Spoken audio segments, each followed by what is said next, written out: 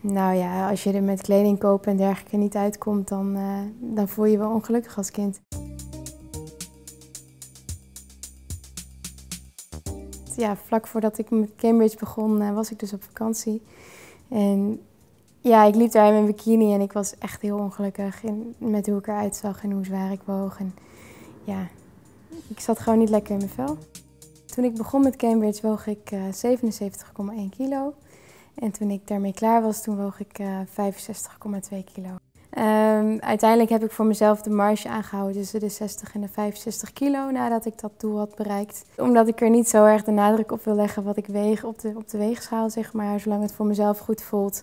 En uh, wat ik door het sport ook heb geleerd, is dat het niet alleen van het gewicht afhangt, maar ook van je spiermassa, je vetpercentage.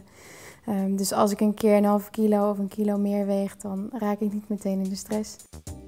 Het zal voor mij altijd een ding blijven. Ik moet altijd op blijven letten. Maar wat ik doe om op gewicht te blijven is, uh, ja, ik probeer regelmatig te bewegen. Zowel krachttraining als uh, cardio. Uh, nou, ik heb bepaalde, bepaalde oefeningen die ik daarmee doe. Als ik weer een nieuw attribuut heb aangeschaft, dan kijk ik welke oefeningen ik daarmee kan doen. Ja, wat ik voornamelijk heb geleerd, dat is dat je je lichaam niet moet gebruiken als prullenbak, maar dat je de prullenbak moet gebruiken waarvoor die bedoeld is. En dat, ja, dat vond ik gewoon zelf heel erg leerzaam, omdat ik, mijn probleem was, zoals ik net al aangaf, dat ik, ja, ik hou gewoon heel erg van lekker eten. En ik at altijd al wel gezond, uh, maar ik at gewoon veel te veel. En dat kwam mede doordat ik het zonde vond om eten weg te gooien. Uh, dus ik at het liever zelf op dan dat ik het weggooide. Dus op die manier at ik gewoon meestal veel te veel. Mijn moeder is uh, jarenlang een voorbeeld voor mij geweest.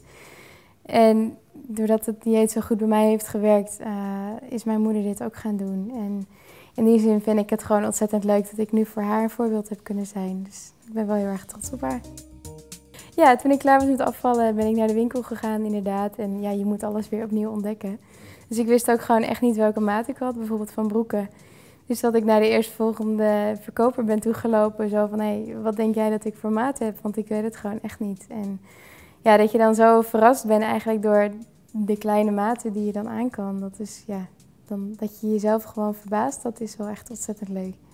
Ik ben nu gewoon heel graag buiten en of dat nou wandelen of skileren of fietsen is, dat maakt me niet meer zoveel uit tegenwoordig.